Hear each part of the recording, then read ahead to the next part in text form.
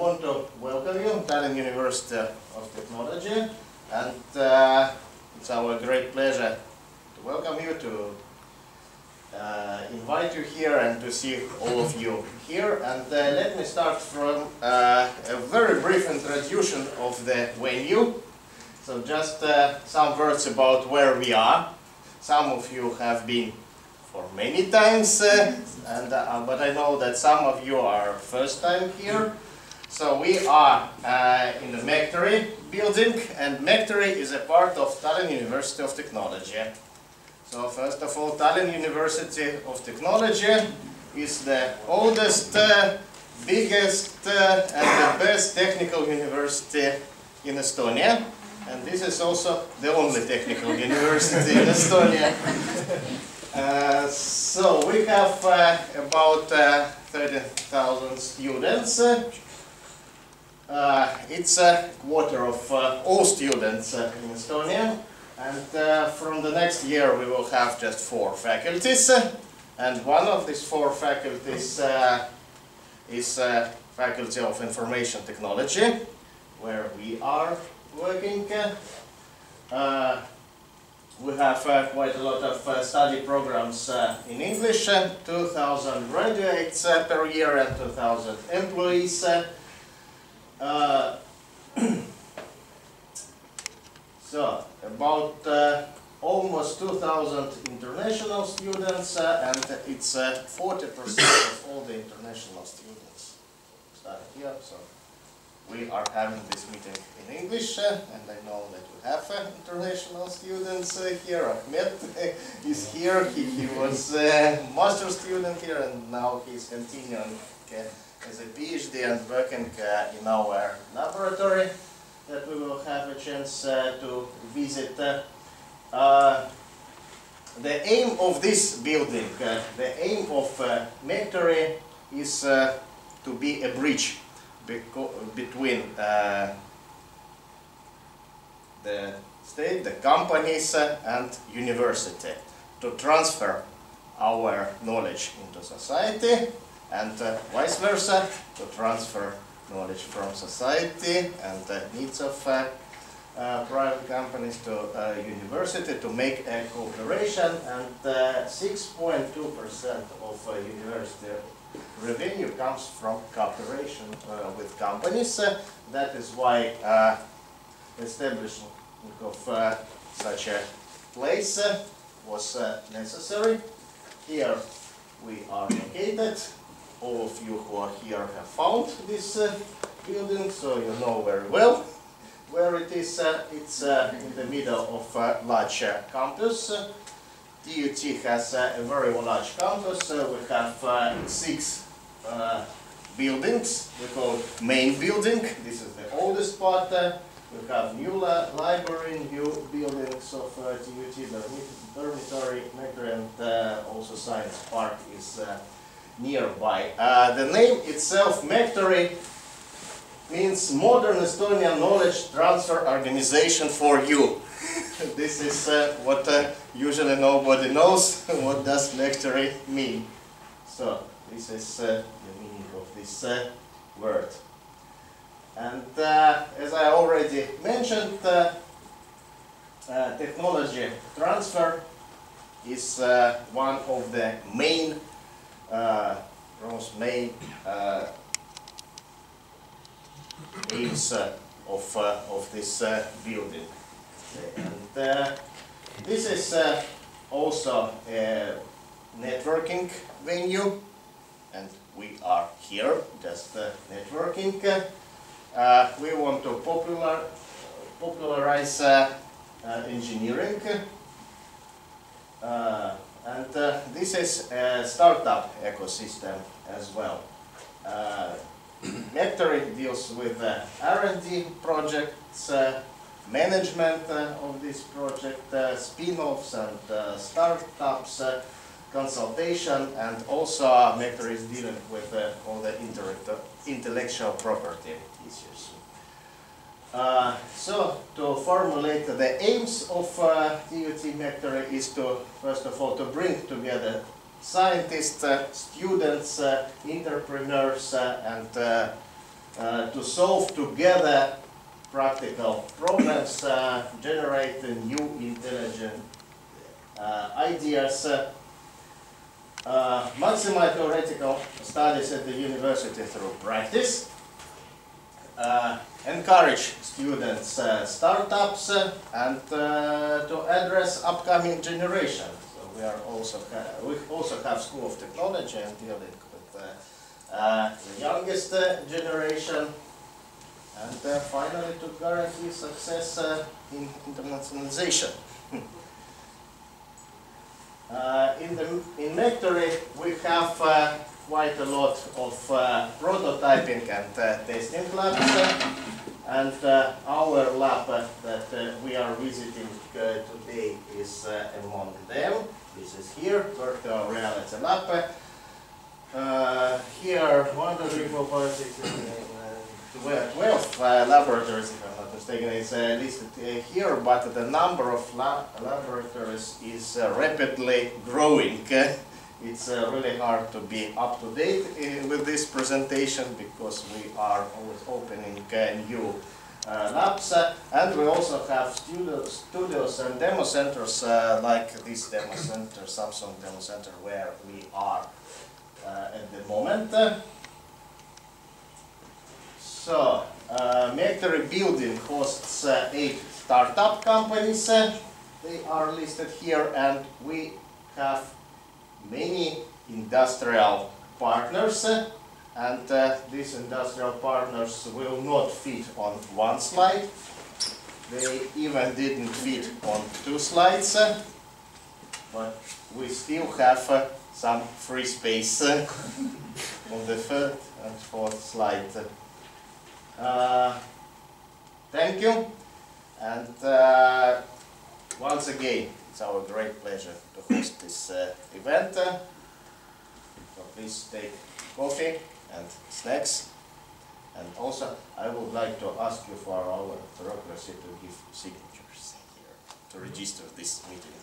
So, Papers are here when you have time. Maybe you can send it please around. write, write, sign your name. Can you send it around so no one co- skip it? Company number, with the company name where I'm from.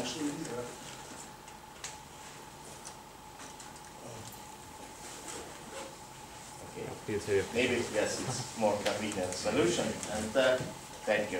Advance, and uh, uh, I give the floor to Aleksei Tepljakov, uh, who is, uh, all- who is dealing with our laboratory, and in fact, the creation of this laboratory was his idea, and now he has the honor to, to present this laboratory. Thank you.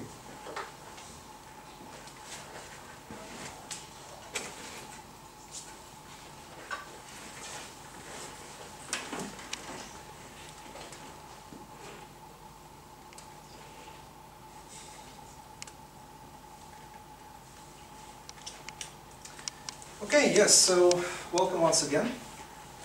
Today we will also uh, visit our lab, just to let you know where it is. If you go down the stairs right here, turn to your right, then walk through the long corridor, turn to your left, there's a very, very specific area there which is decorated to be a, some sort of forest, whimsical forest, if you will. So you will then find us uh, there. But I guess we will visit the lab, so we'll go together. Anyway, uh, my presentation is in general about our lab. So what you can expect from us, from calibration for instance. And I will also present a few projects uh, that we uh, have um, ongoing. So a little bit about us. So uh, because uh, we are essentially uh, an academic institution, we represent an academic institution, uh, our main interest in virtual reality, of course, is research. However, we also want to somehow apply this research immediately to obtain interesting applications. And these applications should uh, not only be abstract, like just to show all these nice things that virtual and augmented reality provide, uh, but they also have to be useful, and for businesses uh, more so. Right? So, um, we have grown out of uh, Alpha Intelligent Control Systems Research Laboratory, uh, which is currently located in the main building of TUT. And uh, because our uh, staff has very different academic knowledge and um, experience, which is shown on this slide, uh, we want to apply all of these nice ideas into practice with virtual reality. So some of the things that we were dealing with, obviously, is process control, intelligent control, uh, computational intelligence. Myself, in my PhD, I was dealing with fractional calculus, which is a subset of conventional modeling uh, extended to a specific specific uh, topic dealing with fractional dynamics, which is quite interesting. Also a topic that is of current interest is symbolic regression. It is currently small here because we're, we're only starting with that. Uh, but we believe that this can also be of great use in virtual reality applications once we get to modeling real-life phenomena inside of, uh, uh, inside of these um, uh, virtual simulations. So, about our goals. So, uh, because we have these diverse backgrounds and experience, uh, we want to, as I mentioned, apply, apply them directly to VR, AR. Uh, and one more uh, thing about that is that we actually want to develop study programs which will allow more students to kind of um, add to this, uh, to this topic and to kind of apply all of these abstract notions, concepts, mathematical modeling, 3D modeling to real-life applications. Uh, moreover, uh, since we are located in Mektory, uh, this is a place where we can actually uh, show everyone uh, what virtual embedded reality is, uh, to allow them also to kind of extend their notions of, um, of what can be achieved using computer science, and to enhance their creativity as well. And uh, we do believe that uh, we will find a lot of partners, a lot of collaborations inside of inside the university, outside of the university, and so forth, so that um, uh, this, in this sense, Mektory is a very nice place to be in. Uh, about business relations, so highly valued, of course. So if uh, any of you represent a business, then and you have any ideas how we can collaborate, please uh, find me later or find any of our other administrators. So at this point, uh, we may offer uh, readily consulting services and assistance, more so with mathematical modeling and artificial intelligence. So if your projects demand that, then we are here for you. And uh, this information is also available on the website. Uh, these are our administrators. I'm Aleksei. Uh, Eduard you have already uh, seen. And Christina is also here uh, somewhere. Uh, uh, our primary, primary uh, knowledge and skills are listed here as well. All right, so let us move now to RD projects, which is probably more, a more interesting part of this presentation. So, so far we've been trying to do some research in a more general sense. So uh, one of the ideas that uh, we had about virtual reality and applications of, uh, of this immersion uh, is uh, transferring uh, the ability to have synesthetic experiences to people who do not have synesthesia by default. So what is synesthesia? essentially, synesthesia is the act of experiencing one sense modality as another. So for instance, you can hear a sound and you can immediately see some uh, color flash appear right in front of your eyes, or the third eye actually, because uh, it is um, uh, well, a sort of uh, anomaly. So uh, some people have this, some people have other types of synesthesia. Uh, we want to try and provide this possibility to everyone, essentially. So because uh, of virtual reality, we now have this immersion, and which is coupled with a three, 160 degree viewport. So the sound may be coming from any which way, and they can be somehow visualized. And we believe that this will actually uh, help in establishing this uh, synesthesia. Obviously, this has uh, numerous medical and artistic applications. Uh, and in what follows, I will show you what we have done up until this point. So, uh, we start with this uh, synesthesia where we actually locate the sound and visualize it somehow. So uh, for this, uh, we decided to go uh, one of the ways that uh, one of our PhDs uh, has been using. That is, we will cons we consider a conical array of microphones, and we use some direction of arrival method coupled with this SRP-PHAT uh, method, which allows us to, uh, first of all, locate the sound in, in a room. Uh, and because of the using this uh, DOA method, uh, it is uh, also possible to apply it in real time, essentially. Okay, so in terms of visualization, currently we envision this as spheres, the sound as spheres. So depending on the frequency content, the sphere will have its color different, and depending on the amplitude, the sphere will be of different size. And these will be then constantly moving towards the listener so that he can have this experience of a sound located in the room, but moving as visual uh, excitation towards him. So our first idea was this, and we are currently using the same one. So we have a projection plane where, where we have the sound source. We have a microphone array which transfers data, currently using the Agilent one, uh, to MATLAB Simulink, where we, which we use to prototype this uh, algorithm. And from there, then we um, somehow establish an interface with uh, the VR sound visualization engine. Currently, we use Unreal Engine. And then this one is transferred to the uh, uh, virtual reality headset so that the user can experience this. So the sound Yes. source can be just some random people talking somewhere, or Uh, it can be, but it will be more random now. We first want to kind of make it so that, for instance, somebody is playing guitar, and then this can be actually visualized and sent like this. For me personally, this is uh, an interesting application, uh, visualizing musical instruments. But we will think about it. Uh, we currently, I will tell a little bit uh, about our current progress in a few slides. So the idea is that we have currently this uh, plane here to which we project uh, the angles, which we detect using this conical array of microphones. And thereby we have currently only XY information. So depth is not currently supported. We are looking forward to expanding the algorithm, but it takes a little bit of research to do that. So uh, from the experiment that we had, uh, we had a moving speaker. So it was simply moving in, in this plane.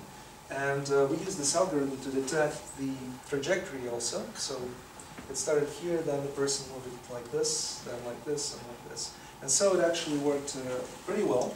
In terms of uh, analysis of the sound, uh, here's what we got for, um, this is something like 24 seconds, I guess.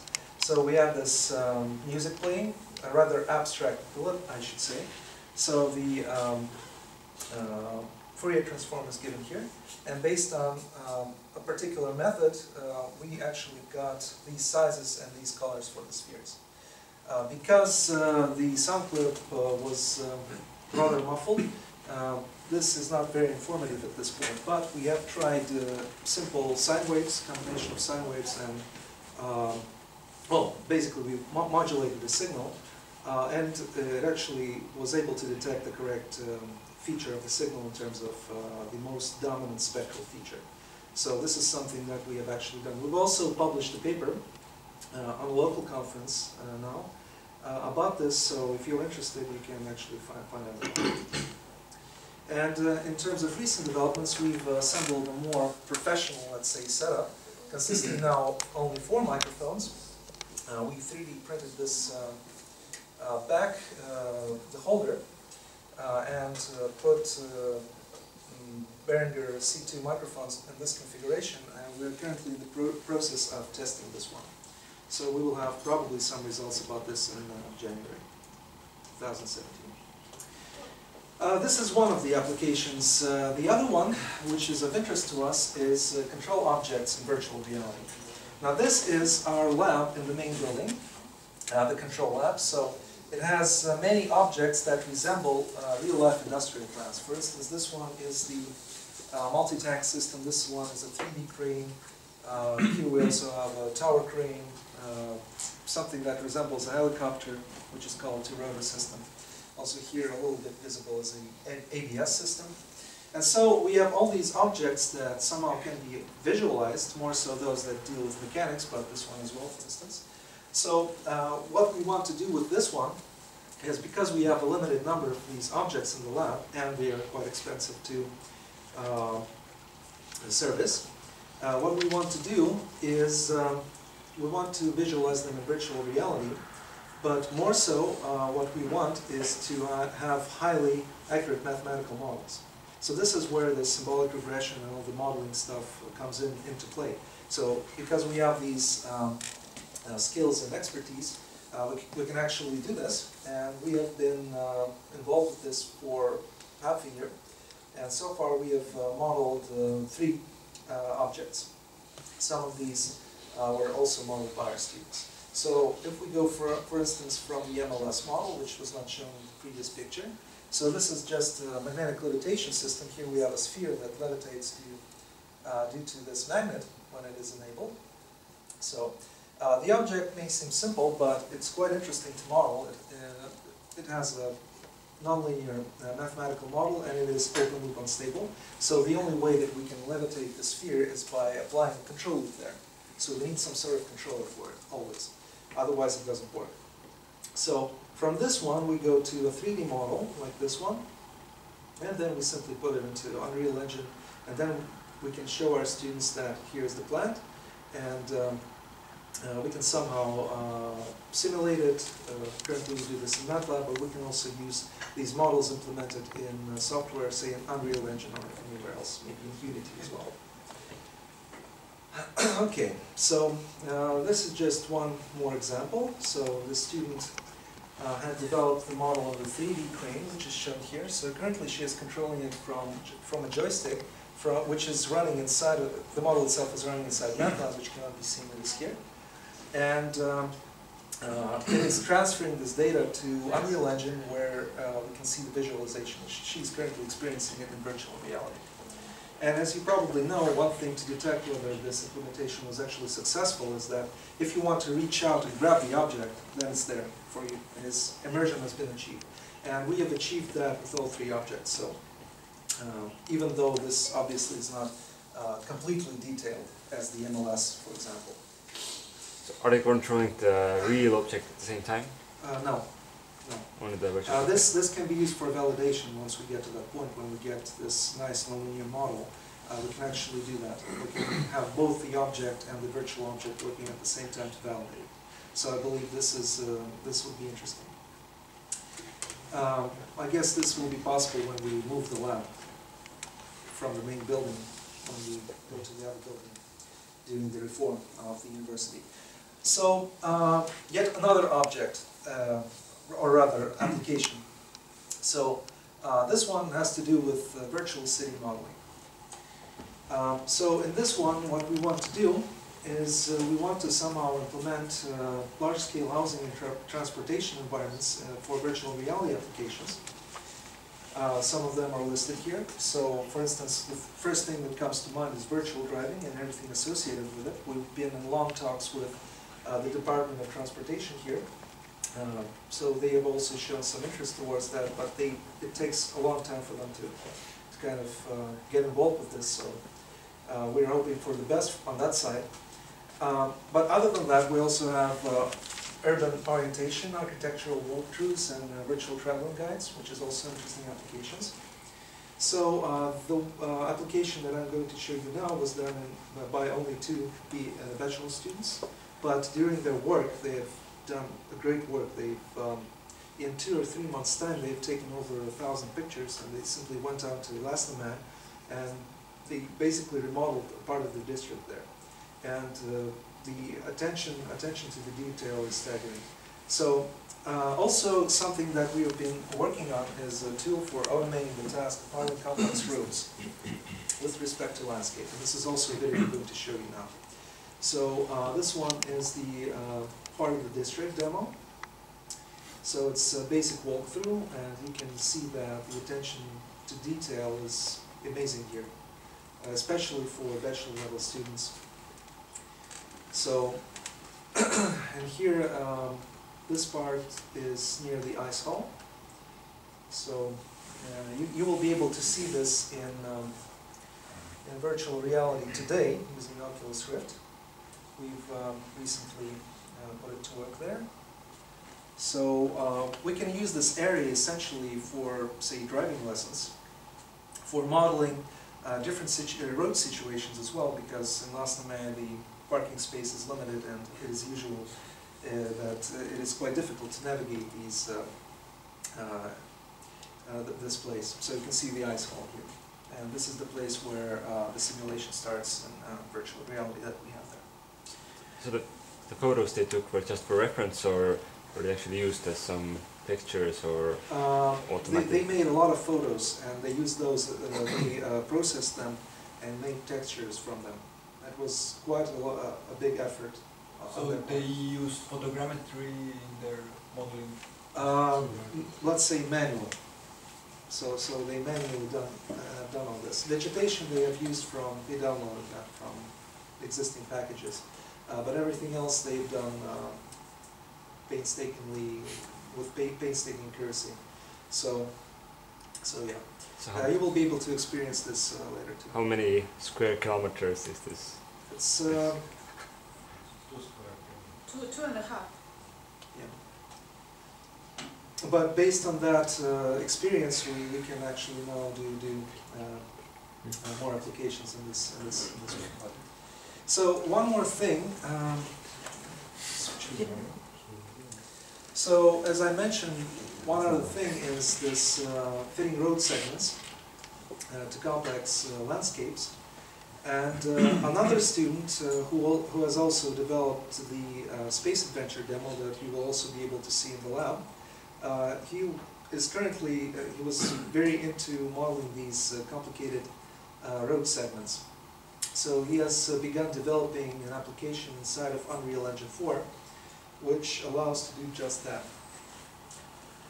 So uh, he uh, knows that, well, at least he told us that uh, several commercial uh, versions of this is available, but he decided to go his own way, just to make it kind of more legible for us to use as well, uh, without royalties. So he decided to implement it, and this one actually shows the result, the intermediate result. So we can actually change now these, um, change these um, Bezier curves so that finally he gets uh, exactly this elevation and everything right. Also something that he was working on is creating these uh, intersections. So um, uh, I haven't talked to him for a while, he's uh, quite a busy person, but in, in his spare time he's doing this work. So uh, it will be very interesting to see what he comes up with next uh, with respect to this. Okay, moving forward. Uh, we are also doing some architectural stuff, and primarily this one is uh, developed by Ahmed, who is currently here. You can also see him uh, on the uh, back of the building, large picture. So uh, he's currently recreating the whole thing, starting from the entrance point, and uh, this one is an old screenshot, by the way. So, uh, and the whole building so that virtual tou- tours can be conducted. So for further um, marketing uh, of Mektory uh, outside of the university, maybe it can be accessed from, from, for, from anywhere, essentially. Maybe we can also implement some multiplayer uh, feature there so that people can actually meet in Mektory like this. But uh, we will see. So, what's this one? I have to reorient myself. So uh, this is uh, just a screenshot from the inside. Uh, there are many more, but I'm showing you only this. We also want to make a video out of it, so we can show it in the same way. And uh, one more thing that I want to show you is uh, so-called fantasy world uh, applications, uh, because uh, immersion into fantasy world is something that cannot be experi- experienced otherwise, uh, or maybe drugs. But uh, we want to make it accessible to everyone without uh, breaking the law. So this is this is something that we are actually working on. Uh, and this was developed by the same student uh, who has uh, who's currently doing work with um, the road segments. So it, it is a single student project. and It took me maybe half a year to, to develop. Uh, this particular one is just some asteroid and trees going on there. So we have also um, uh, implemented some additional, additional features. Uh, In essence, I just, uh, I just uh, took his work and imported that one into the um, new uh, Unreal Engine templates, added some uh, interact interactive objects like these uh, rocks here, um, and this guy there. Any fans of Futurama? So, uh, so that uh, people can actually experience these uh, interactions and uh, see how, how these uh, basic physics work. So I need to practice my throwing, but punching is always working. yeah. So, so you also get to experience this just to see, um, unless you have um, you know, seen this before, it's uh, very, very, very interesting to, to see. Other than that, uh, our university has also been included as one of the VR First universities. Uh, this is a Crytek uh, program with their sponsors. So we have developed, our students have developed a few applications uh, for CryEngine. So this one to the, um, so this one with the knife, uh, this one is actually, uh, again, a single student project. Uh, there we have implemented a certain scenario. Um, person is traversing this mysterious island, and once he crosses a certain point, he then gets thrown into the nighttime, where he has to go through a labyrinth. Once he get there, uh, gets through it, opens the door, and gets to see our world. So a very nice, uh, a very nice uh, surprise at the end. Okay, so um, this is just to figure out how Cry- CryEngine works, and um, he's going, going to defend his thesis uh, in, uh, in the near future.